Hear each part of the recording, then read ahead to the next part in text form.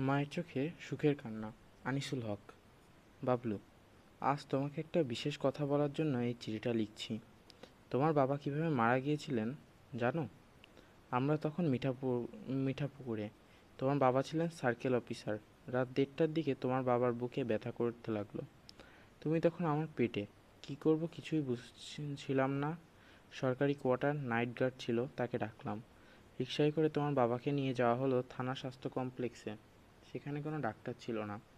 তখন একটা মাইক্রোবাস জোগাড় করে চেষ্টা করলাম। তারপর আমরা ছুটলাম রংপুর মেডিকেল কলেজের হাসপাতালে। হাসপাতালে বেডে নেবার আগেই তোমার বাবা মারা গেলেন। তুমি তাই মামাবাড়িতে জন্মেছ। মামাবাড়িতেই বড় ছোটোবেলায় কেটেছে। আমি শিক্ষকতার চাকরি করে নিলাম। তোমাকে প্রথম সুযোগে আমি পাঠিয়ে দিলাম ক্যাডেট কলেজে। সেদিন থেকেই আমি স্বপ্ন দেখেছি বড় হয়ে তুমি হবে ডাক্তার। শুনেছি বায়োলজি তোমার ভালো লাগে না। কিন্তু তোমার তুমি কি বাবা একটা কথা একবার ভাববে? তুমি কি বড় হয়ে ডাক্তার হবে? তোমার জন্য একটা সোয়েটার বুনছি। এবার শীতের আগে সেটা তোমার হাতে পৌঁছাবে। ইতি, তোমার মা। চিঠিটা পড়ে সে স্তব্ধ হয়ে আছে। তার কিছু ভালো লাগছে না। বিকালবেলা গল্পের বই পড়ার ক্লাসে স্তব্ধ হয়ে রইল। দশজনের একটা গ্রুপ সবাই মিলে আলোচনা করছে জাহানারা ইমামের লেখা একাত্তরের দিনগুলি বইটি নিয়ে। তার প্রিয় শিক্ষক সিরাজ স্যার ব্যাপারটা খেয়াল করলেন। তিনি বললেন, কি বাবলু, তোমার কি শরীর খারাপ? না, স্যার। তাহলে তুমি কিছু বলছো না কেন? সবাই আলোচনায় অংশ নিচ্ছে, তুমি চুপচাপ বসে আছো। বইটা ভালো লাগেনি? ভালো লেগেছে, স্যার। স্যার, আপনার সঙ্গে আমি কি একটু আলাদা করে কথা বলতে পারি? নিশ্চয়ই। সন্ধ্যার সময় স্যার নিজেই দিলেন তাদের ছাত্রাবাসে। হোস্টেল সুপার মোজান্নেল স্যারও ছিলেন। বাবলুকে ডেকে পাঠালেন সুপারের রুমে। বাবলু, বলো কি তোমার কথা? বাবলু মায়ের চিঠি তুলে দিল সিরাজ স্যারের হাতে। স্যার চিঠিটা পড়ে গম্ভীর হয়ে রইলেন।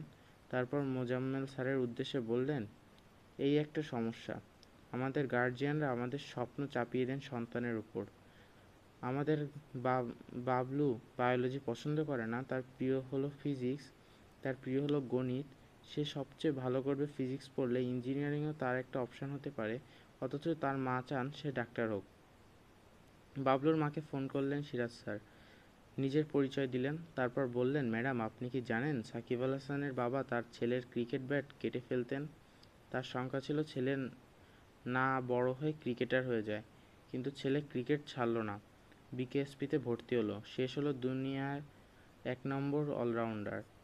ছেলে মেয়ে যা হতে চায় তাই হতে দিন। সাবজেক্ট পছন্দ করে তাই পড়তে দিন। দেখবেন ছেলে জীবনে শাইন করবে। আর কত ভালো ছেলে অনিচ্ছা সত্ত্বেও ডাক্তার ইঞ্জিনিয়ারিং পড়তে গেছে, ভালো লাগেনি বলে আর পড়া শেষ করেনি। কাজেই দয়া করে ছেলের উপর জোর করবেন না। এর ষোলো বছর পরের কথা। বাবলু এখন আমেরিকাতে। এমআইটি ফিজিক্সে পিএইচডি শেষ করে সেখানে ল্যাবরেটরিতে গবেষণা করছে। আজ তার মা এসেছেন বোস্টন এয়ারপোর্টে। বাবলু এয়ারপোর্টে দাঁড়িয়ে আছে। প্লেনে মায়ের পাশে বসছিলেন আমেরিকান সাদা ভদ্রলোক। তিনি বাবলুর মায়ের সঙ্গে ইংরেজিতে গল্প করছিলেন। মা বললেন, আমার ছেলের নাম নাসের আলী। সে এমআইটির ভদ্রলোক। বললেন, আপনি জানেন, আপনার ছেলে আমাদের ইউনিভার্সিটির গৌরব। ও গবেষণা করছে মানুষের হার্টের উপর। ওর গবেষণা মানুষের অনেক বড় কাজে লাগবে। শুনে বাবলুর মা চোখ মুছতে মুছতে লাগলেন। ভদ্রলোক বললেন, আপনি কাঁদছেন কেন? আমি কি আপনাকে কোনোভাবে আঘাত করলাম? মা বলল, আনন্দে কাঁদছি। ছেলের গৌরবের আনন্দ।